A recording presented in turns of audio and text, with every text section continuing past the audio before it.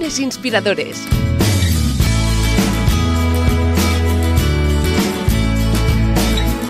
Con David Tomás y Edu Pascual. ¿Qué tal? Bienvenidos a Lunes Inspiradores, hoy en un nuevo programa donde tenemos doble conexión. Hoy, eh, como ya sabéis, la magia desde que, bueno, pues trabajamos en remoto, desde que tenemos ocasión, ah, para mi desgracia en este aspecto, porque me encanta tener a David cerca y también, pues ya no solo por un, por un aspecto, pues, eh, sentimental y por el aprecio que le tengo, sino porque, oye, esto de, charlar con la gente cara a cara, pues también, quieras que no, se, se echa, se echa de, menos, ¿no? Eh, sabéis bien que esto es un podcast y que como tal es atemporal y es más, seguro que ahora mismo está ahí desde el 2055 pensando, pero ¿qué dice este? Pues bueno, os abrís un libro de historia y veréis la que se lió aquí en 2020-2021 y cómo poco a poco pues se ha ido normalizando, oye, y estamos más que contentos. Y aquí nunca ha faltado el optimismo porque nunca, jamás falta esa dosis de lunes inspirador, de lunes optimista en este podcast que lleva una larga trayectoria, son casi de 5 a 6 años con, bueno, cerca de 300 invitados. Y hoy, pues, eh, se añade uno más a esta lista extraordinaria con el que tendremos ocasión de, charlar. Pero antes, damos, como siempre, la bienvenida, como decíamos antes de empezar, la London Calling, conectando con David Tomás desde Londres. ¿Cómo estás, David? Muy bien, oye, pues como siempre, aquí arrancando la semana, los lunes, que siempre es un día inspirador, ¿verdad, Edu? Eh, desde luego, desde luego. Oye, qué energía, qué energía nos da. Y nos decías ahora que, te está lloviendo por allí y decíamos, qué extraño que te llueva por Londres. Esto sí, esto sí. Aquí el verano es, es cortito. Bueno, a la, que, a la que tienes buen tiempo, por eso eh, tienes unos parajes por ahí que son una auténtica maravilla. ¿eh? Quien te siga en Instagram, que lo sepa, que se hace unas fotos que a veces piensas, madre mía, qué, qué, qué envidia, qué envidia. Esa y la de Stone Age, que también me dio una, esa me una envidia extrema verte en ese, en ese paraje histórico y también digno de ciencia ficción. Bien, vamos al lío, venga, va, que nos aquí al final acabarán siendo otros lunes y aquí de lo que se trata es de inspirarnos con nuestros invitados. Antes de empezar, por eso, eh, que nos gustaría saber eh, cuál es el reto líder que nos toca y que nos propones esta semana, David. Pues mira, seguimos en el mes de junio, el reto va de la productividad y esta semana, fíjate que se trata de hacer las cosas bien a la primera. Muchas veces somos poco productivos porque cometemos pequeños errores, detalles que fallamos, que hacen que luego tengamos que empezar de cero o solucionar ese problema que hemos creado por no fijarnos a la primera. Entonces, la mejor forma de ser productivo es hacerlo bien desde el primer minuto. Entonces, vamos esta semana a centrarnos cuando hagamos una tarea vamos a ver si la estamos haciendo de forma perfecta y con, las ganas e ilusión que, necesitan. Oye, pues qué maravilla. Ya sabéis, el reto líder, comentarlo en las redes sociales, eh, en las vuestras propias, obviamente, y comentárselo a David, porque es que realmente sí que es verdad que llega un punto en que David te escribe tanta gente que tú te preocupas casi casi religiosamente de ir contestando y de ir leyendo todo lo que te llega, algo que, como es muy lógico, agradeces una barbaridad. Eh, como también agradecemos que hoy nos acompañe Manu Romero. ¿Cómo estás, Manu? Bienvenido. Muy buenas, oye, estoy encantado de estar aquí y, además de lunes inspirador con gente inspiradora, ¿no? A David ya lo conocía, he tenido la ocasión de, conocerte hoy y, gente maravillosa que al final te permite, pues también el trabajo conocer, ¿no? Porque de otra manera seguramente no nos hubiéramos conocido.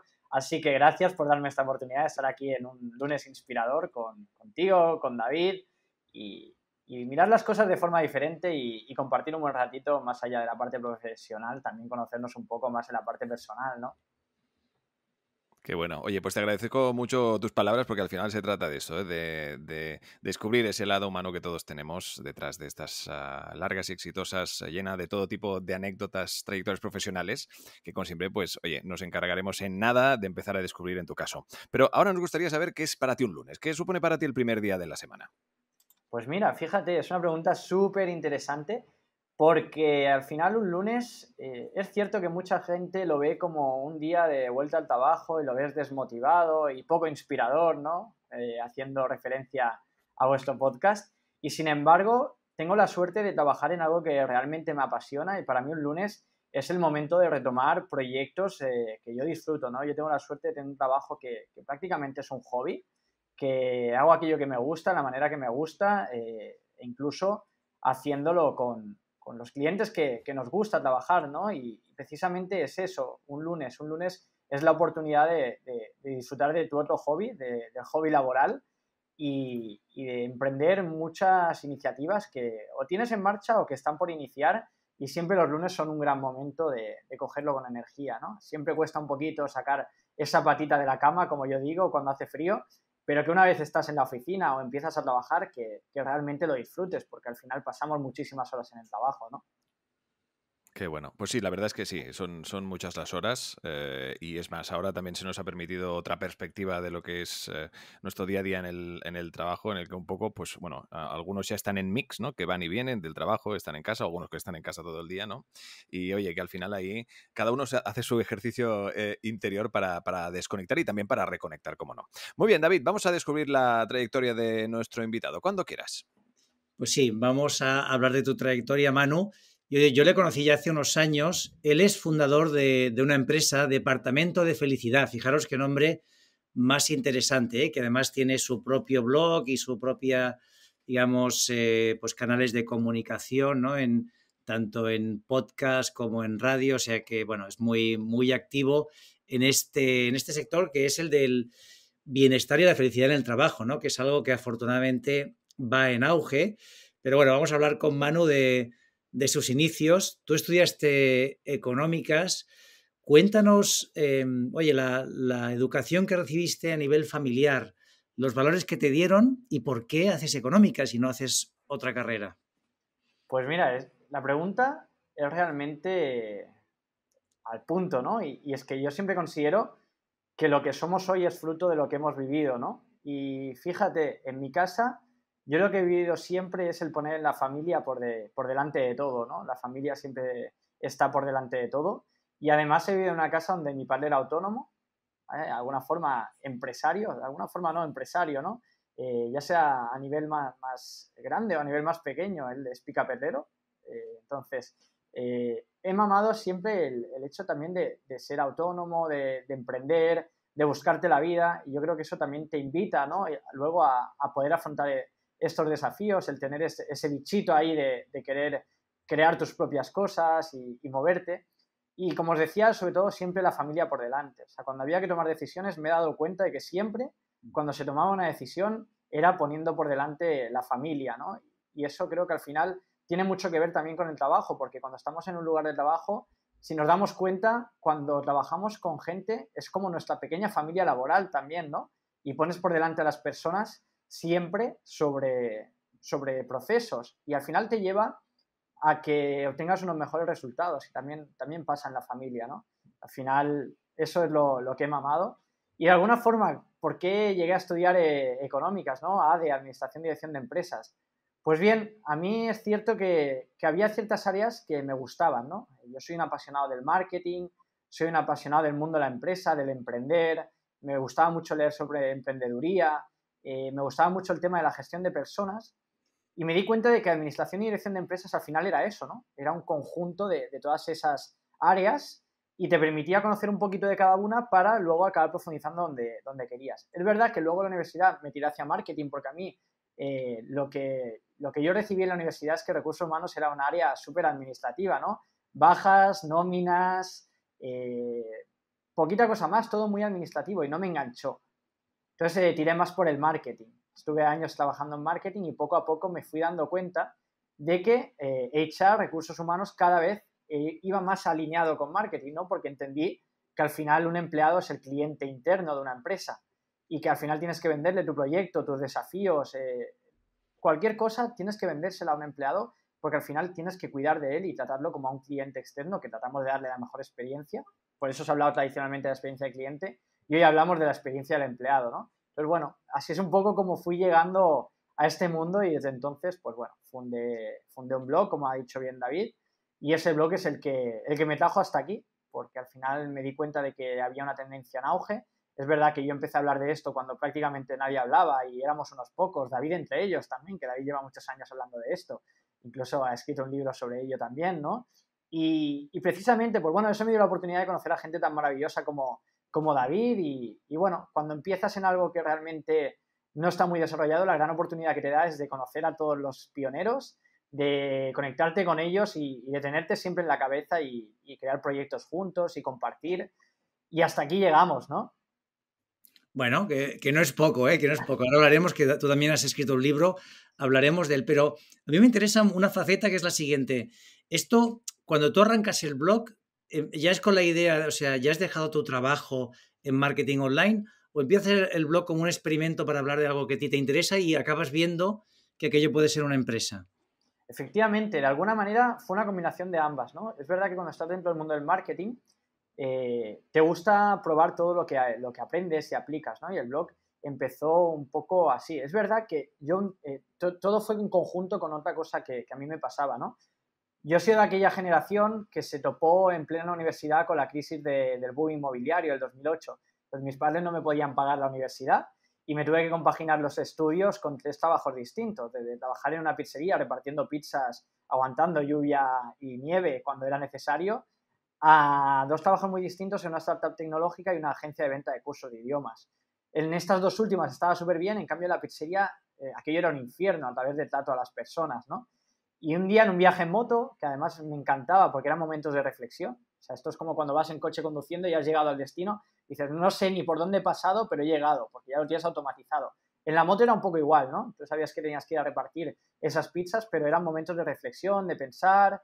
Y bueno, se me cruzó un cable y dije, oye, ¿qué relación debe haber entre estar feliz? Porque yo donde estoy feliz quiero quiero sumar a la empresa y quiero que crezca. Y, donde no estoy tan bien, sin embargo, no les deseo el mal, pero tampoco deseo que crezca esta empresa, porque, porque considero que, no lo están haciendo bien, ¿no?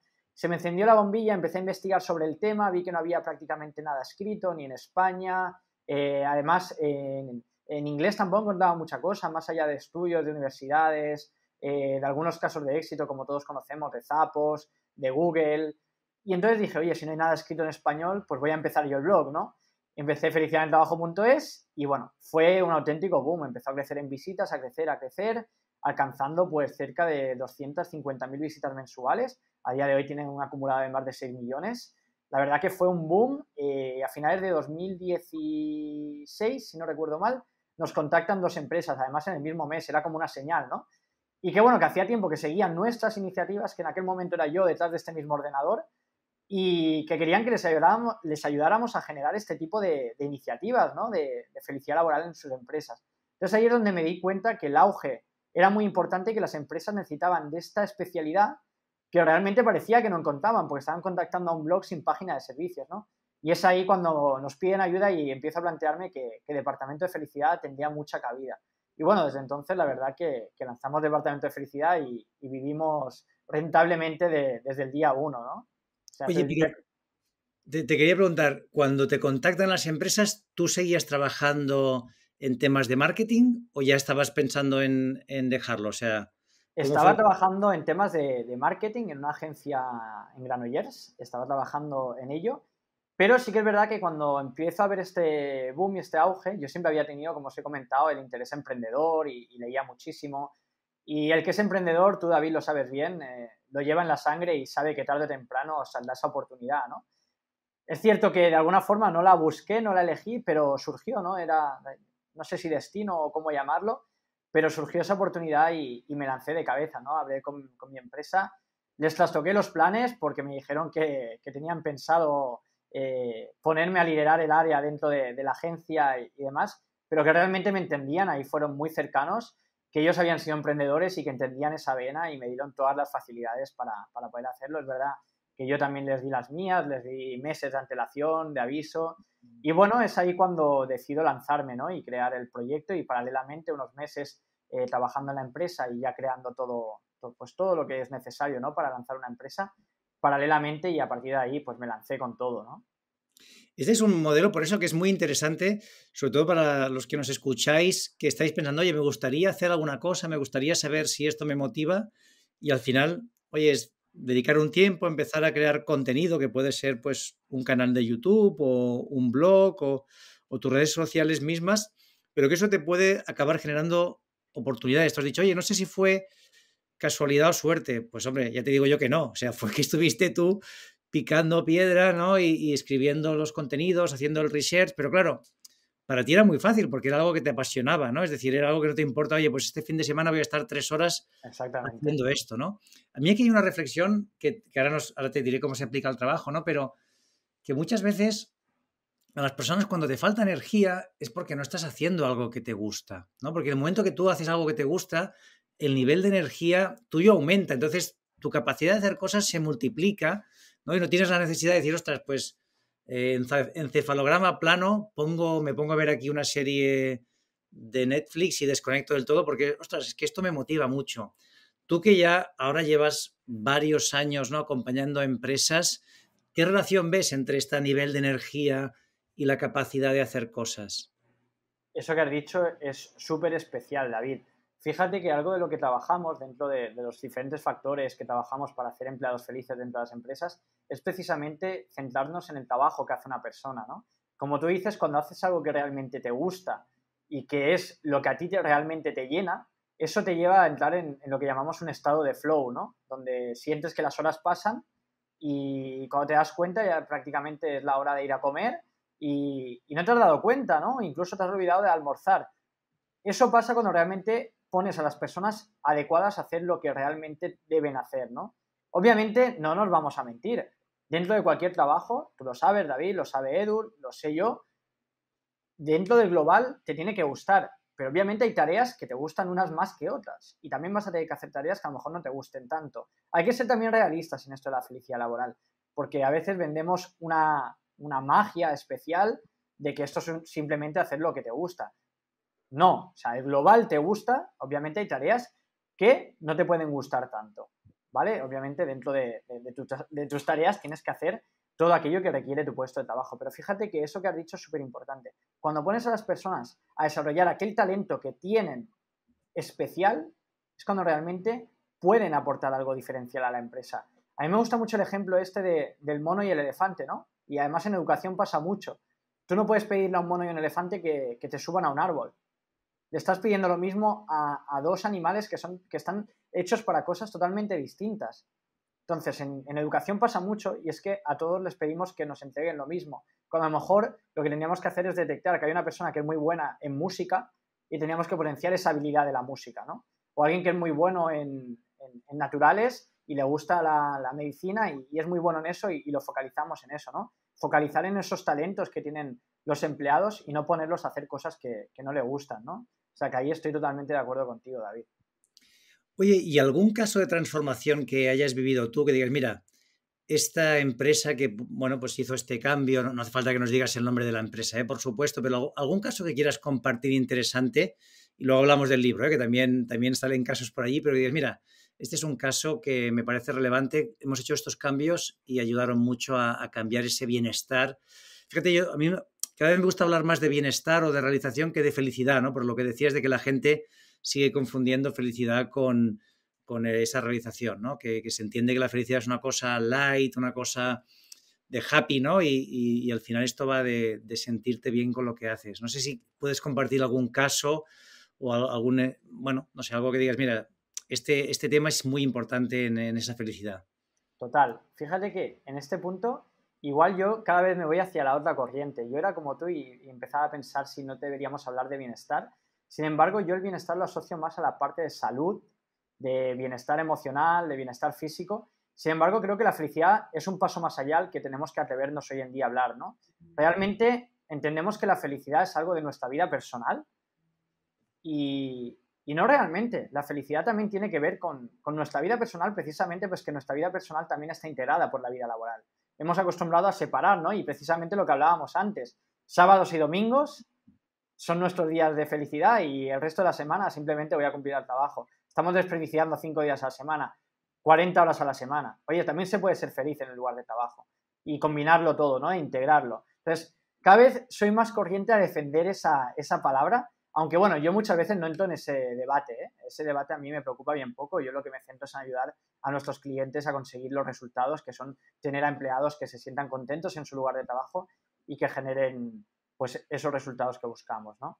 Y algún caso en concreto, pues mira, a mí me gusta mucho hablar de, una empresa que se dedica al alquiler de tecnología para eventos y demás, que me llamó su directora general, bueno, eran dos codirectores, y me llama y me dice, hola Manu, he leído sobre ti, sobre tu proyecto, tal. Y dice, y es que mira, yo quiero crear un departamento de felicidad.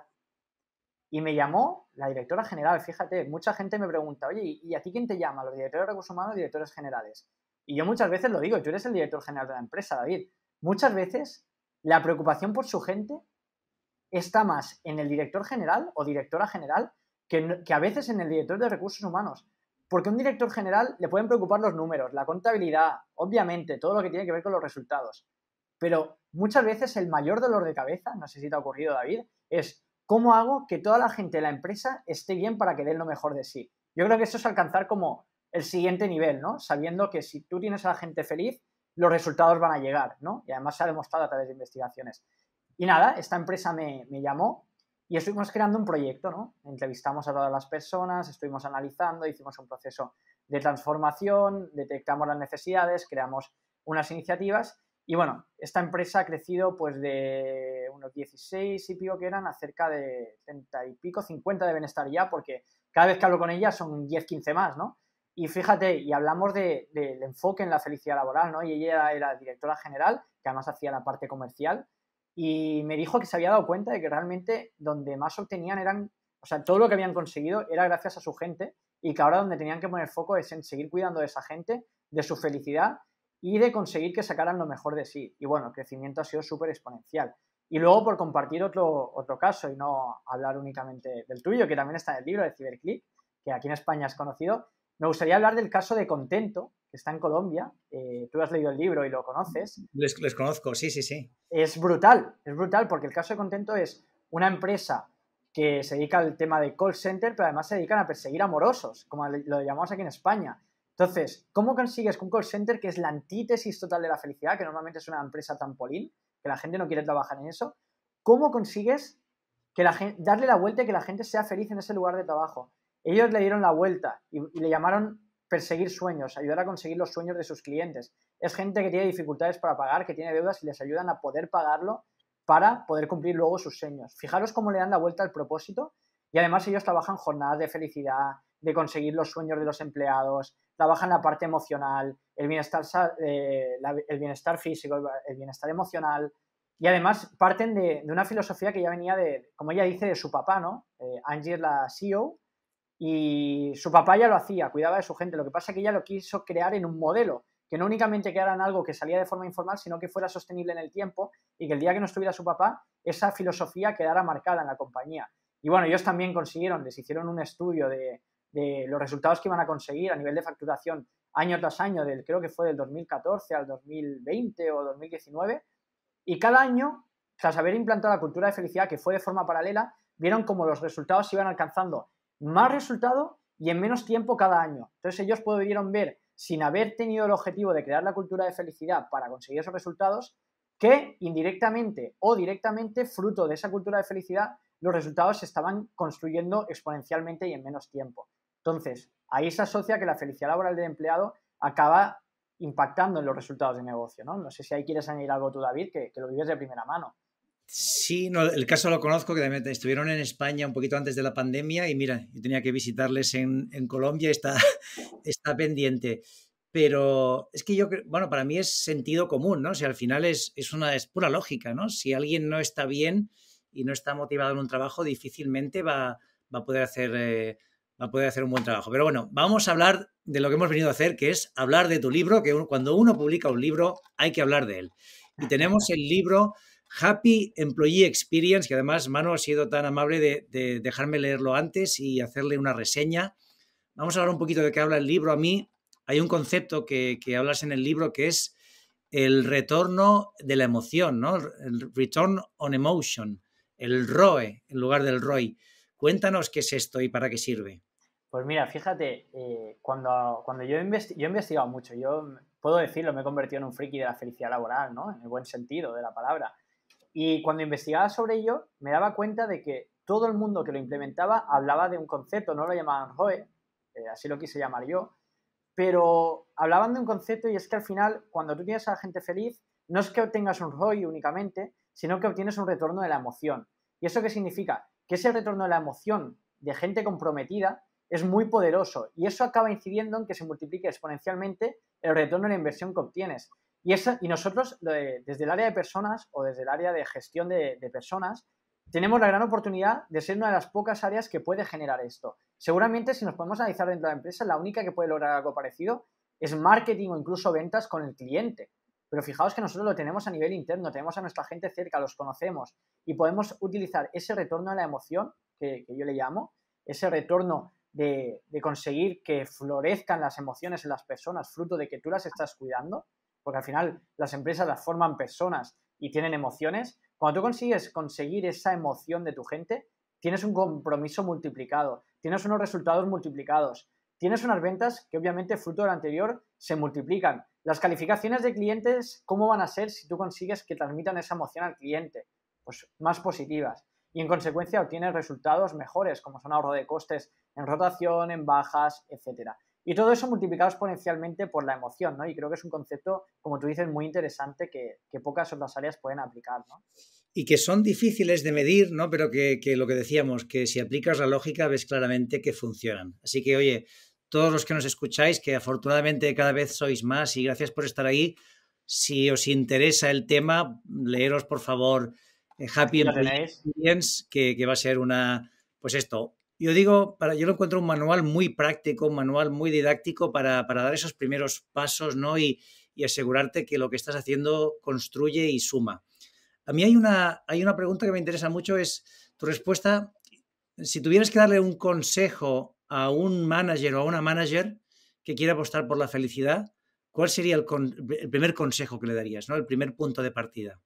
Pues mira, aquí yo siempre digo lo mismo, ¿no? No soy nadie para dar consejos, yo lo, al final lo que comparto es mi experiencia, ¿no? Y hay una clave y que muchas veces dentro de las compañías no, no se tiene en cuenta, y es que el compromiso de la transformación, porque al final esto supone una transformación, un cambio de cultura, está en la persona que es el líder de la organización, que muchas veces yo lo digo, para mí el CEO de una organización es el único que es líder sin tener alma de líder, porque al final es el ejemplo de una organización, ¿no? Es en el que todo el mundo se mira. Un manager al final puede ser un líder o no serlo, pero si no lo es, tampoco lo vas a catalogar como líder, lo vas a catalogar como jefe. Pero un CEO sí que va a ser tu líder, porque al final es el, que lidera esa organización, ¿no? O el que maneja esa organización. No me gusta utilizar esa palabra, pero al final es eso, ¿no? Entonces, ¿qué consejo doy? Que si quieres generar esa transformación, el primero que debe transformarse eres tú. Y el primero que se debe implicar con los proyectos eres tú. Y hay un ejemplo muy claro que, os va a ayudar a entenderlo. Yo estaba en una, en una reunión, ahora pues cosa ya de dos años, que con el COVID siempre digo un año y, luego es un año más. Ahora todo le tengo que sumar un año porque es como que ha habido un vacío temporal en medio. Y hace dos años debe hacer ya, estaba en una empresa del sector sanitario en Madrid, en una reunión, y me hablaban de un cambio de CEO que tuvieron. El CEO anterior había puesto un futbolín un futbolín en la empresa. Eso sí, el futbolín estaba cerca de la mesa del CEO y se ve que cada vez que alguien iba a jugar recibía miradas fulminantes del CEO. Que dices, oye, ¿para qué lo pones si luego a la gente le das a entender que no, no lo pueden utilizar? ¿no? ¿Sabéis qué fue lo que hizo el nuevo CEO nada más sentarse en su mesa? Dejar las cosas, irse al futbolín y pegar un grito al aire y decir, oye, ¿quién se echa una partida? Y eso fue como un boom, ¿no? O sea, eso fue, señores, señoras, empezamos a cambiar y las cosas van a cambiar, ¿no? Y vamos a hacer las cosas de otra manera y aquí lo que importa es la gente. Y es un gesto, pero ya estás mostrando cambio, ¿no? Y precisamente yo siempre digo es que no nos queremos en la parte superficial, sino que hagamos el esfuerzo de crearlo desde la estrategia como hacemos con cualquier otro proyecto. ¿no? En el libro hablamos de la estrategia, de los pasos a seguir, de qué hace feliz al empleado, iniciativas que se pueden aplicar, pero normalmente lo que nos encontramos en aquellas empresas que lo intentan es que tratan de copiar a empresas que a lo mejor van muy avanzadas, ¿no? Pones un futbolín, pones cestas de fruta, eh, pones unas frases motivacionales o haces unas oficinas chulísimas, pero luego tienes problemas de base. Tienes un manager que te hace la vida imposible, tienes un ambiente de trabajo tóxico, eh, no tienes programas de formación que permitan a los empleados crecer, eh, no pueden encontrar retos profesionales dentro de la compañía. Entonces, que tú a mí me pongas una cesta de fruta, por ejemplo, cuando yo con el salario que me estás pagando no puedo pagar prácticamente el alquiler, para mí es prácticamente un insulto. Oye, prefiero que me subas en ese momento un euro mi salario a ponerme una cesta de fruta, porque necesito pagar mi alquiler. Ahora que ya cubres unas necesidades básicas con un salario mínimo viable que le llamo, y a partir de ahí empiezas a implementar otro tipo de cosas que también son importantes, porque el empleado de hoy viene demandando muchas otras cosas más allá del salario, como flexibilidad de trabajo, oportunidades, flexibilidad, de, flexibilidad para, para trabajar en cualquier horario, etcétera, etcétera, etcétera. Hablamos de todos los factores en el libro. Cuando eres capaz de buscar el equilibrio entre todo esto, es cuando realmente empieza a ser considerada una empresa feliz, donde los mejores profesionales quieren, quieren trabajar. Entonces, como consejos, primero, que se impliquen activamente en el cambio y segundo, que lo hagan de forma estratégica, porque si no se va a quedar en iniciativas aisladas que, no van a suponer un cambio. Oye, y desde el otro punto de vista, ¿no? que también es una pregunta que a mí me hace mucho, cuando alguien está en una empresa que no se siente valorado, que siente que el management pues no cree en las personas, que pues todavía las hay, ¿qué le dices a esta persona? Yo siempre digo lo mismo.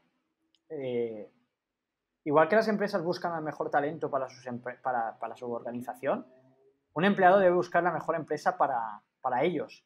¿no? Entonces yo siempre busco ese match cultural, ¿no? Busca aquella empresa que conecte con tus valores y que al final te traten bien, porque ¿de qué sirve estar en una empresa donde no te sientes valorado, donde no te sientes querido? Incluso yo muchas veces lo digo, si te lo puedes permitir, vale a veces la pena cobrar un poquito menos y estar más a gusto, ¿no? Entonces, siempre digo que busques ese match cultural. Que luego hay situaciones y situaciones, que a veces no es tan fácil dejar el trabajo porque tienes que pagar las facturas, porque no te sale otra oportunidad, porque tienes una edad y, no te quieren contratar, entonces ahí tienes que trabajar tu marca personal, etcétera. Pero en el momento que tengas oportunidad de dar el salto a una empresa donde puedas estar mejor, tienes que dar el salto. Tú tienes que elegir aquella empresa donde, donde realmente te valoren, ¿no? Siempre hay pasos intermedios. Puedes hablar con tu manager, puedes hablar con la organización, trasladarles esto. Pero por norma general, cuando empiezas a sentir eso, y es que ya lo has intentado y, y que realmente no estás en el lugar que toca. ¿no? Y hay muchas otras empresas que sí. A día de hoy menos de las que quisiéramos, pero cada vez más. Además, lo estoy viviendo de primera mano, el, crecimiento, la curva está haciendo realmente así. Más después del COVID, que se están preocupando por el talento y, de forma genuina. Antes igual era un poco más de maquillaje de cara a atraer talento y ahora creo que ya empieza a ser algo más genuino y que se implanta y que ya está aquí para quedarse, ¿no? Manu, nos quedamos sin tiempo. Una última pregunta. ¿A ti quién o qué te inspira? Pues mira, a mí me inspiran muchas personas, pero me gustaría hablar de, una persona que fue fundamental en este movimiento de la felicidad laboral y que fue Tony Hayes.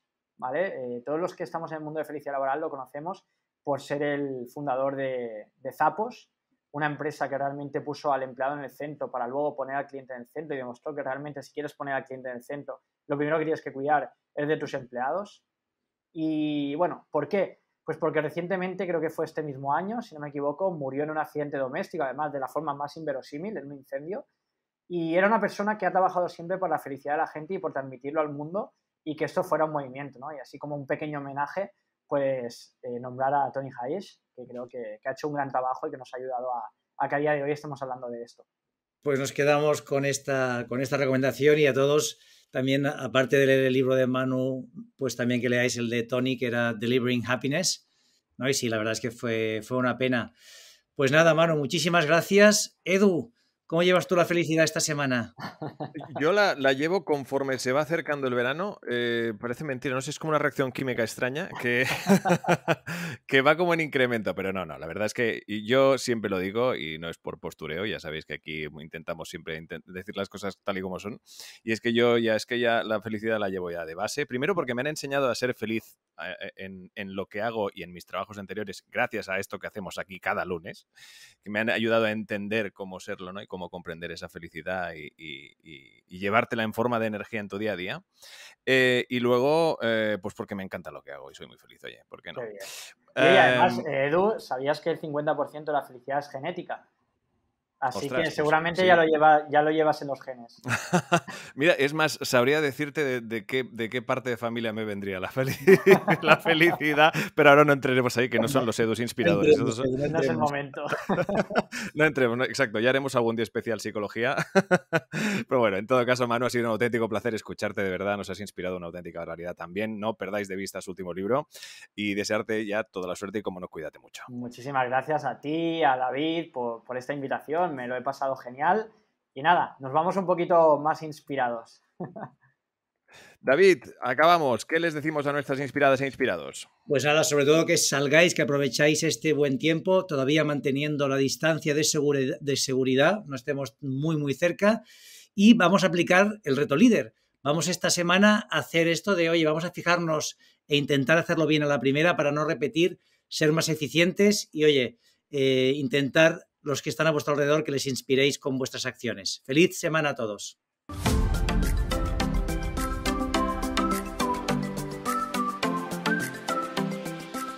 Suscríbete a nuestro canal de YouTube, a nuestra cuenta de iVoox Y síguenos en Twitter, arroba lunesinspirador. Lunes Inspiradores.